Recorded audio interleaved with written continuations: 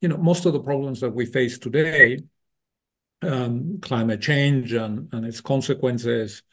the renewal of the arms race, uh, the unraveling of our nuclear order, um, the malignant uses of you know technologies and, and science, uh, poverty and inequality, and so on. But all of these problems, you know, do have this feature that they are global in nature, and that